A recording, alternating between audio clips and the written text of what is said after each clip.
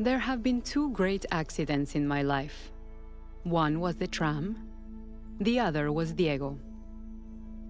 Diego was by far the worst.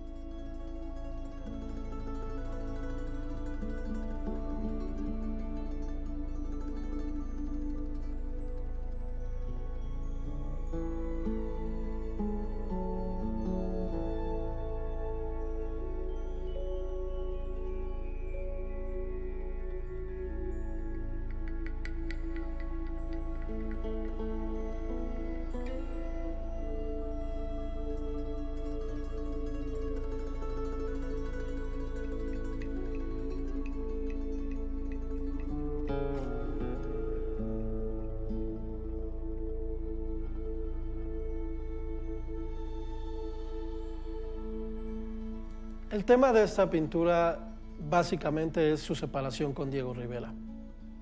De su divorcio el 8 de, noviembre de 1939. La Frida vestida de teguana es la Frida que amaba Diego Rivera. Diego es quien le pide que se vista con los trajes eh, de las diferentes regiones de, de México.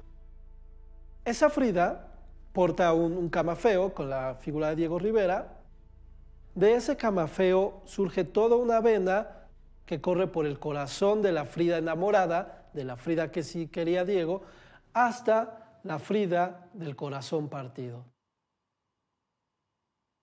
Y tras el rompimiento aparece la Frida más europea, con un vestido muy similar al que usó su madre en su boda en 1898.